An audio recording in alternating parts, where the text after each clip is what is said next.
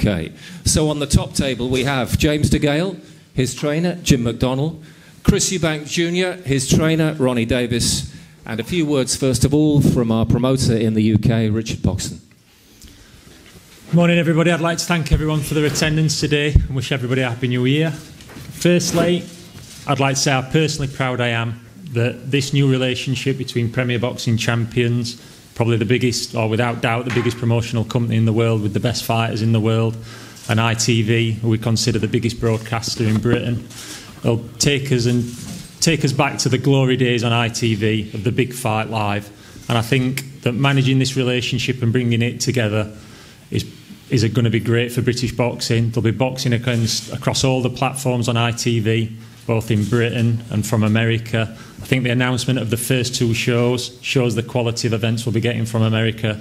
There's the Uska Plant super middleweight fight, and then the week after that, six days after that, we go straight to Broner Pacquiao, another massive fight. And those are the type of events we'll be looking to put on this year. But for the first British event, it's probably one of the most anticipated fights of the last two or three years, I believe, with James DeGale.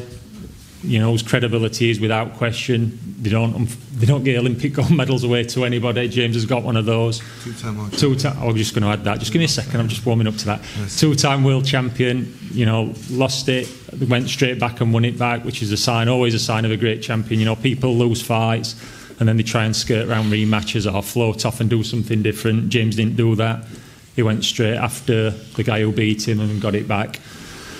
On my left is Chris, who obviously needs no introduction. Again, I've worked with Chris over two or three fights now. Him and his dad, pleasure to work with. Very, very professional in his preparation and everything he does.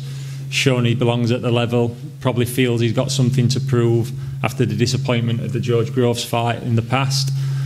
And I think it, just got every ingredient to be a great event at the O2. Really, really looking forward to it, looking forward to the build up, and especially looking forward to the fight.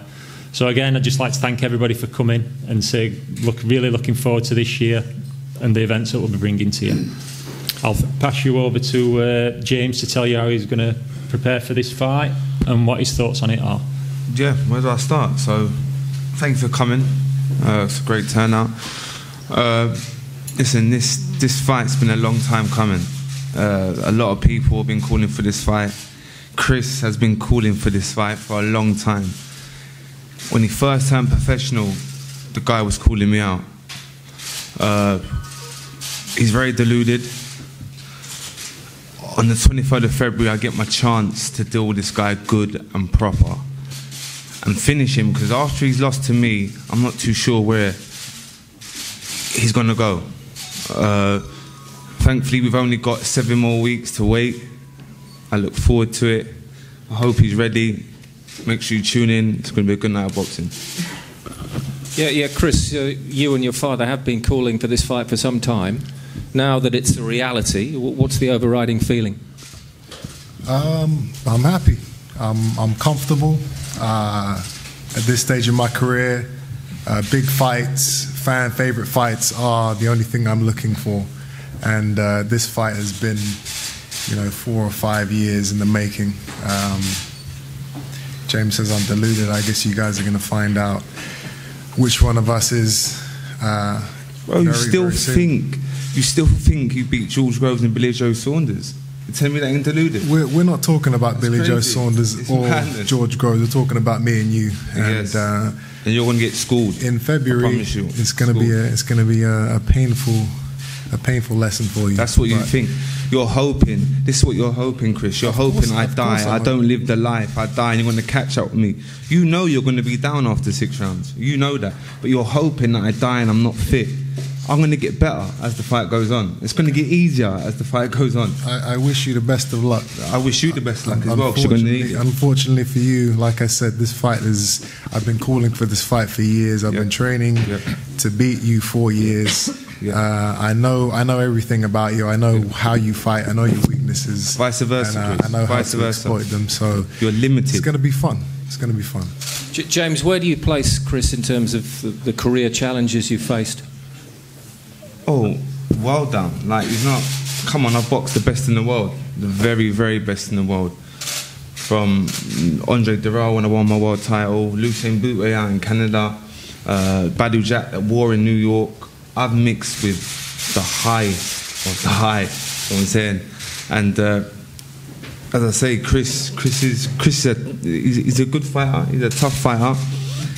Uh, he does bring it. He's got a lot of heart. He's got he's got a big set of balls, but that's not going to be enough to beat me on the 23rd of February. And I think you know that deep deep down. I think, as I say, he expects to be down after six rounds, and he and I think he's hoping I'm not fit, and he and he put and he puts on the pressure, and and, and he can take me out, but.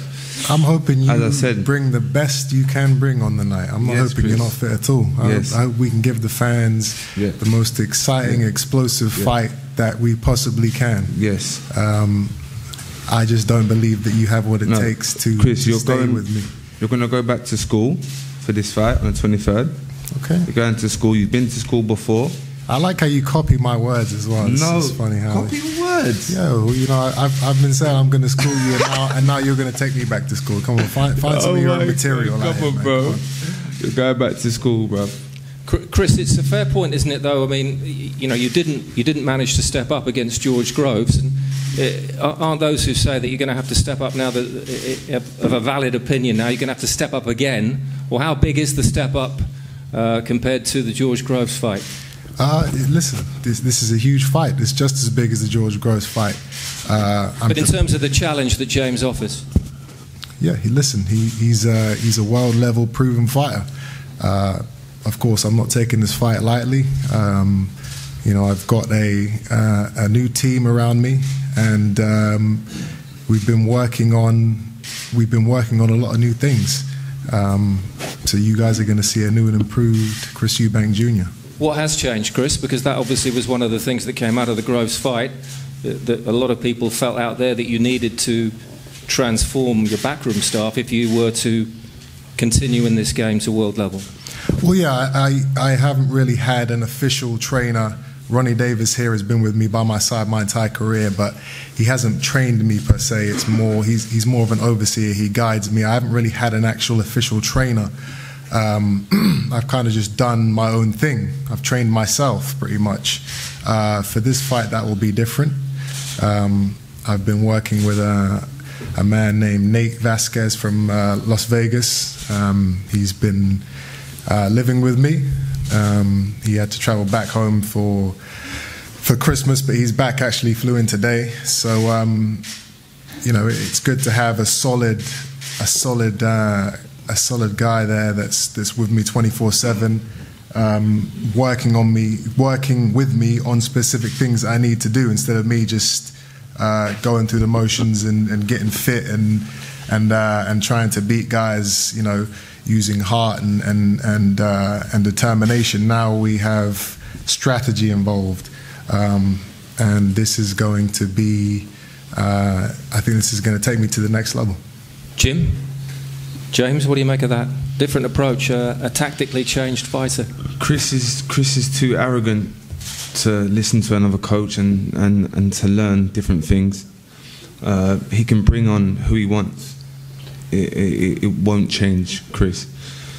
Uh, as I say, this would be as easy as I make it. Simple. Yeah, I think we're all creatures of habit. What you've been doing a lifetime, you can't change in six to eight weeks. We're all creatures of habit. You brought up on what you brought up on. You can't go in the gym with anything that can be detrimental rather than advantageous. You're better off sticking with what you know. Trying to change it now is a bit, it's a bit crazy. Well, Ronnie, you, I imagine, have seen this new trainer at work. What, what, what's the difference? What's happening in there? Well, I've never.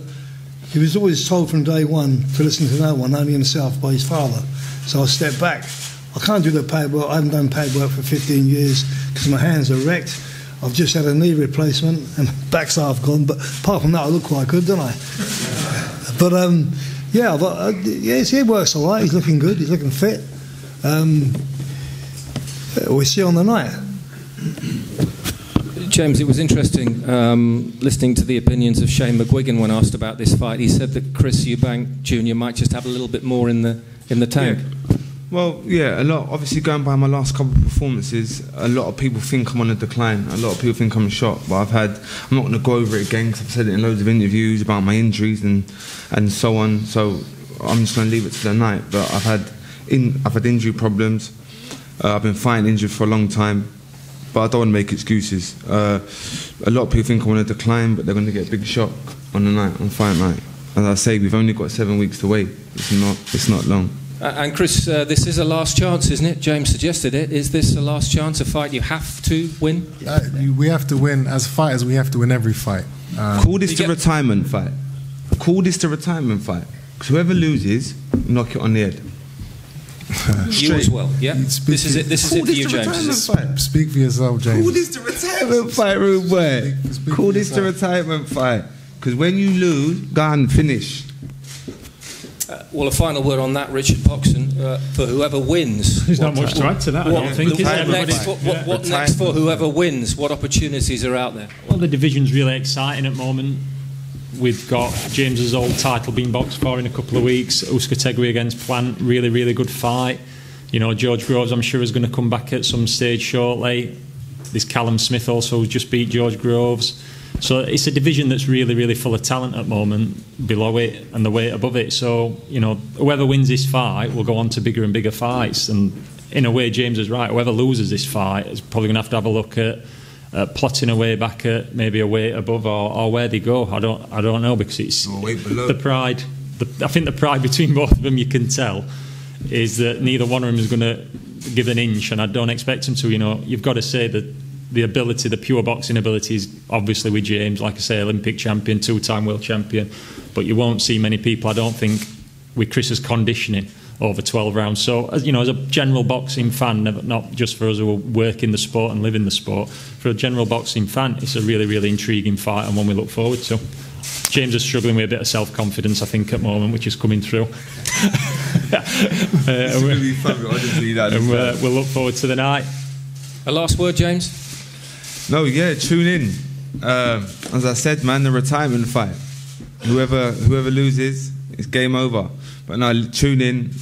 O2, 23rd of Feb. It's going to be a cracker. And Chris? I'm, I'm bringing the heat, as I always do. And uh, James is talking about retirement. This is something that For you, bro. it's never even come into my mind. So, I'm um, talking. This is the retirement. Because when you lose, what are you going to do, Chris? Well, you know, obviously I don't have it in my mind to lose. Uh, I haven't even thought about that path. Obviously, you have. No, I'm thinking about you, bro. No, think about yourself, man. This is a dangerous sport. There's, Yes, there's, I know it there's, there's no need to be thinking about Fully opponents. focused on the 23rd, bro. Okay, well, we'll Okay. see. We'll Okay, out. sir. Guys, thank you very much. Okay, it's on then. James DeGale, Chris Eubank Jr., February the 23rd at London's O2 Arena. Before that, ITV begins the boxing year with two world title fights on ITV4, including, as Richard mentioned, Manny Pacquiao against Adrian Broner for the WBA welterweight world title. That's on January the 19th. For more details on that, go to itvboxoffice.com. Coming up, we'll speak to both men on ITV Box Office, Facebook, and YouTube channels, and then both fighters, of course, available to you for further chats. Thank you very much indeed.